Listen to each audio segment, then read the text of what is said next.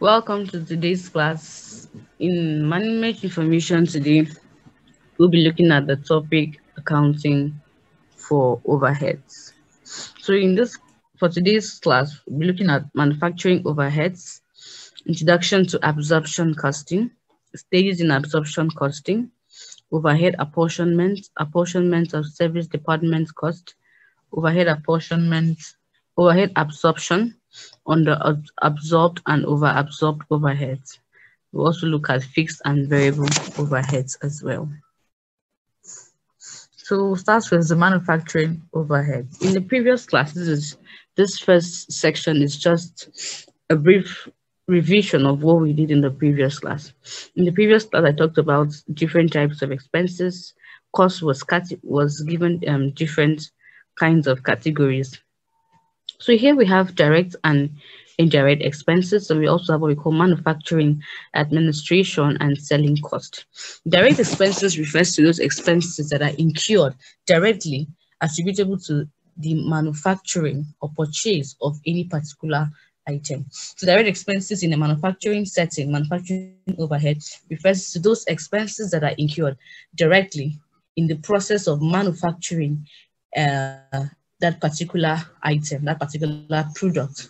Well, indirect expenses refers to those expenses that are incurred in the manufacturing organization, but they are not directly attributable to the production of that product. Okay, what I mean by directly attributable means that these expenses is incurred, that's direct expenses, is incurred because we want to produce this particular product. Now, had it been this product was not to be produced, we will not incur this particular type of expenses. Okay, so we have manufacturing costs. Manufacturing costs refers to those costs that are incurred in the manufacturing process, all the costs incurred in the process of manufacturing that particular item.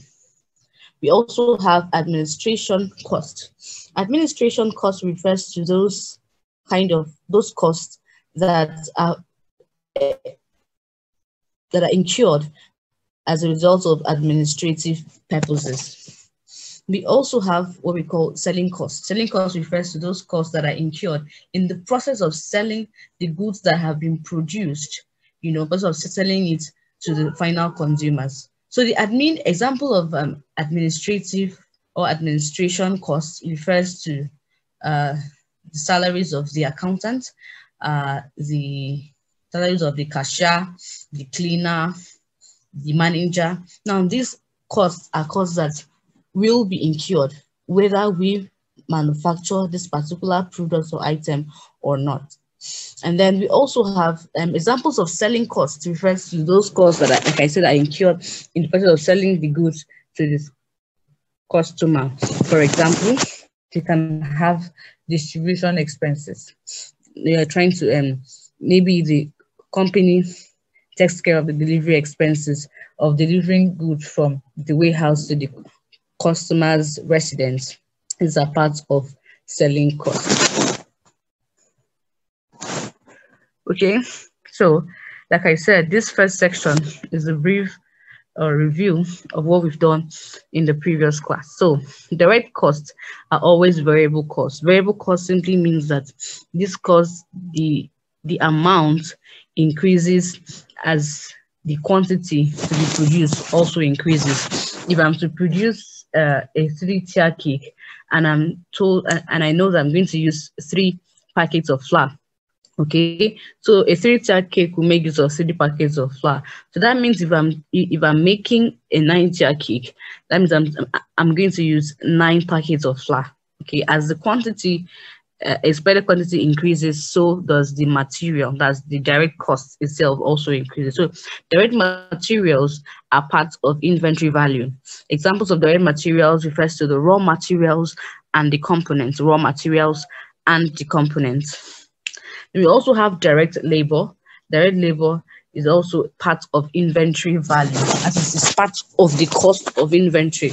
Direct labor simply means those uh, the the amount of money incurred, expense incurred, the amount of money paid to those who are actually in the production process. Okay, so this is factory labor, the amount of remuneration of wages given to the workers that are working in, in the in the production process of that particular product. Then we also have direct expenses. Yes, it has the word direct with it. So it is is any uh, expenses that is incurred as a result of producing that particular product or item. So